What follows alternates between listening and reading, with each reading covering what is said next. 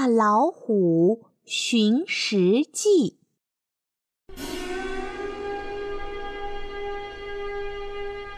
这天夜里，森林里静悄悄的。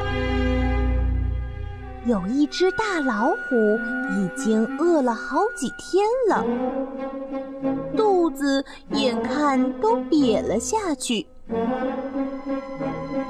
他就想：唉，虽然我心地善良，但肚子还是要弄饱的呀。小动物们，对不起，我来了。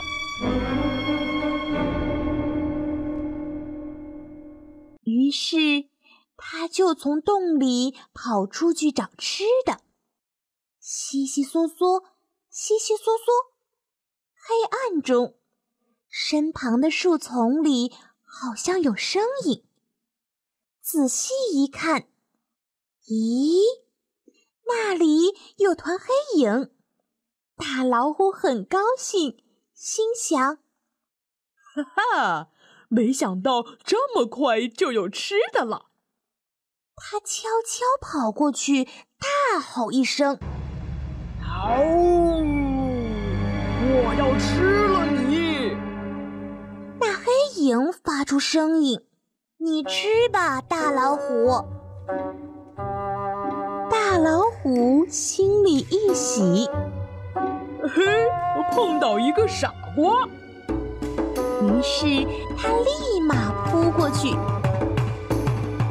可随后又发出一阵惨叫：“哎呀！”哎呀，疼死了！你是谁呀？谁让你嘴馋？我是刺猬。啊！哎呀，哎呀，我找错人了。大老虎转身，歪着嘴就走了，因为他知道刺猬身上有尖尖的硬刺，是吃不得的。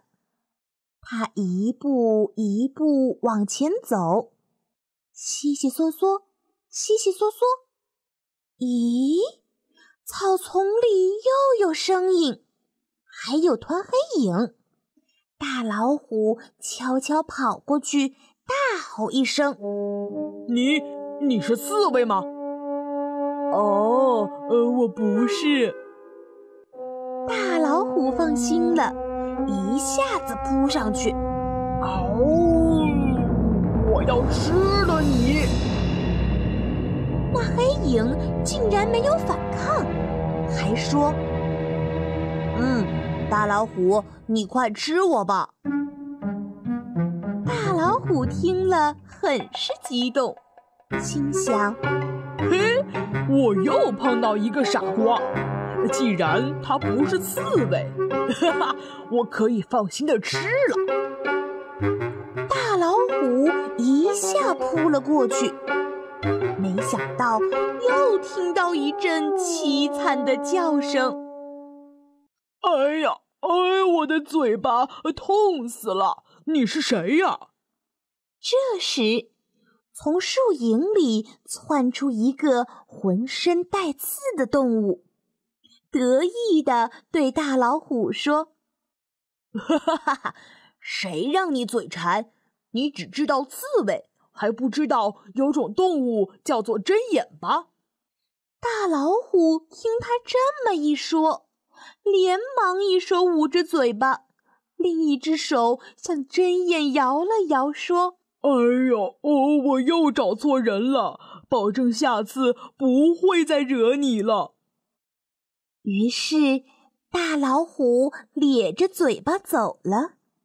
这次他知道了，针眼身上也是布满刺，可不好惹。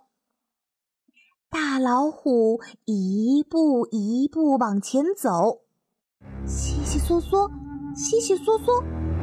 山坡下有声音，咦，又出现一团黑影。大老虎悄悄跑过去，大吼一声：“你是刺猬吗？”“不是。”大大老虎转了转眼珠，又问：“你是针眼吗？”“哦，我不是。”大老虎听了他的回答，内心一阵狂喜，咧嘴笑着说：“好，那我要吃了你。”没想到那团黑影还相当配合，说：“哦，亲爱的大老虎，你快吃了我吧！”嘿，又一个傻瓜。嗯，反正这次不带刺儿的，我可以放心了。大老虎赶紧扑过去，啊呜一大口。这次大老虎的惨叫声可是震动了整个森林。